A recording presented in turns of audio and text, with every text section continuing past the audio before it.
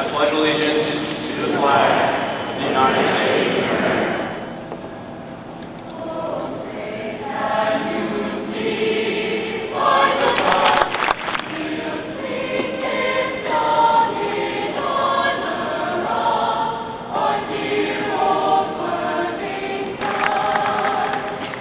Welcome to the 2007 Worthington Kilbourne Commencement, a day of celebration.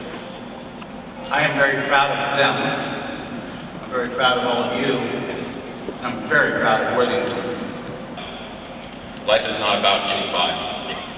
It's about continuous self-development and always wanting more. We are at a crossroads. When we woke up this morning, we were all high school students. Once we cross this stage, however, we take the next great step onto adulthood, accomplishment, and life.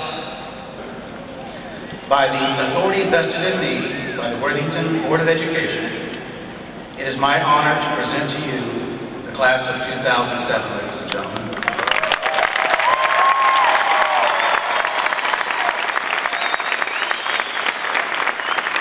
Ladies and gentlemen, this graduating class of 2007, it's the envy of the state. Employers will seek all of you out because you're the product of Worthington Schools. This is no kidding. Worthington Schools stands out on your resumes.